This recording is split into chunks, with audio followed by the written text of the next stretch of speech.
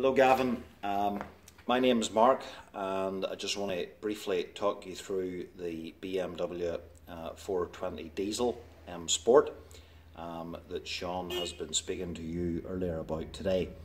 Um, we'll just walk towards the car here now, and we'll show you first of all the operation of the electric hood.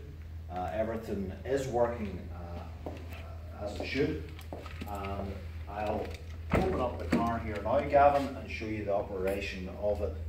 Um,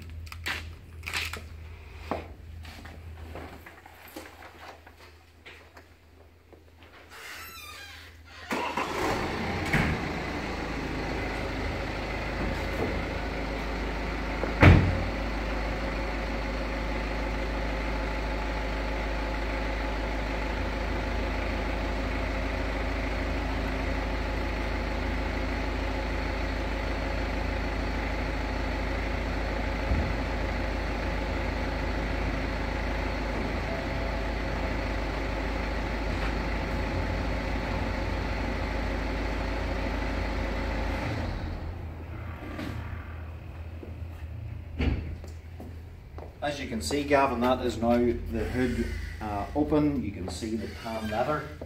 The two keys for the car are with the vehicle as well.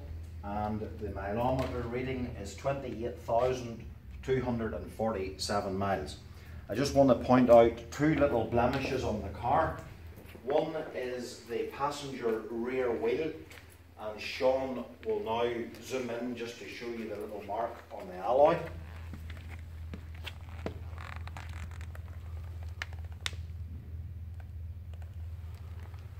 And the other little blemish, Gavin, is um, just to the driver's side lower valance, which has a very, very, very small scuff down at the very corner of the bumper.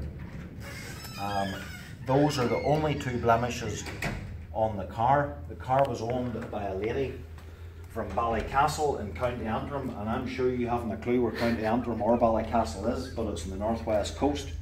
And she bought it from the local BMW garage. Um, all the service history is with the car, Gavin.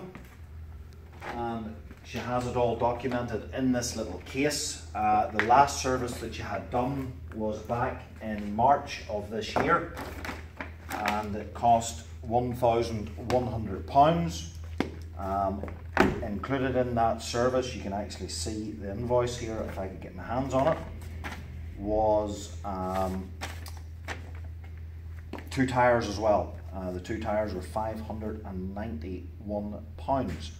Now, the lady in question also left with us a few other items as well. Um, the original tan carpet mats uh, were with the car, and also she has a Supaguard kit as well, and other clinging materials along with the books belonging to the car, Gavin. So everything is as it should be, and the car is very, very genuine.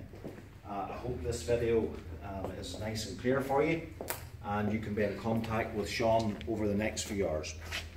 Many thanks. Bye.